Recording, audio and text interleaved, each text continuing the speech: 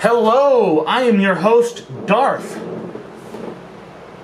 Darth Deadpool. I'm filling in for Sean Hannity and, um, what's his name? Alex Jones uh, this evening. So, bear with me. I got big shoes to fill. Sean Hannity, man, he's been on the news for whew, so long. You know, he's so smart. And, and, and Alex Jones, I mean, I mean, boy, oh boy, what what a journalist, you know.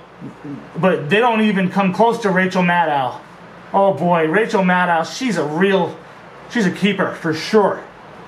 Uh, I don't, I don't know. I kind of have a crush on Don Lemon and Chris Cuomo and Brian Stelter. They're all my favorite uh, news anchors, and um, I, I know I'm getting off topic here, but again, it's me, Darth.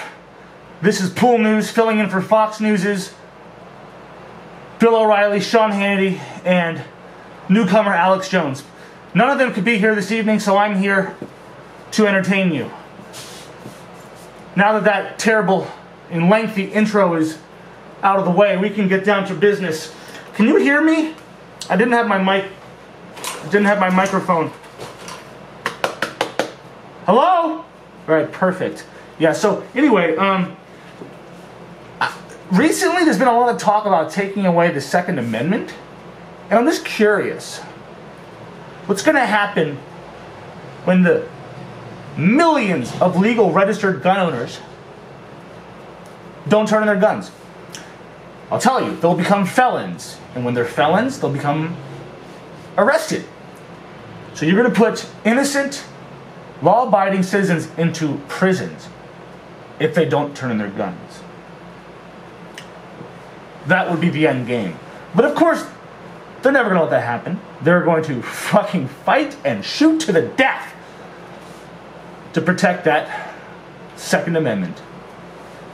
But say you did take all the guns, right? Well, I see guns kind of like drugs. What do you do if they're illegal?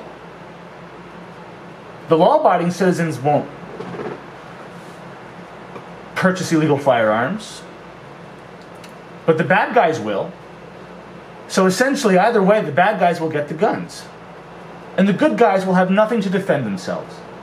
The Second Amendment was brought into action to protect and arm American citizens in case of a tyrannical government came to be, that they could fight back. Another reason to have a gun or a firearm, I don't mean you need to carry it around. You don't have to conceal carry for Christ's sake, but just keep it in your home. Is to protect yourself. What happens if somebody wants to come in and rape and murder my daughter? Now, I don't have a daughter. But there's a lot of daughters out there that could be raped or murdered. What say you?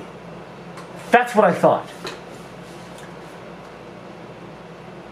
It's just like drugs.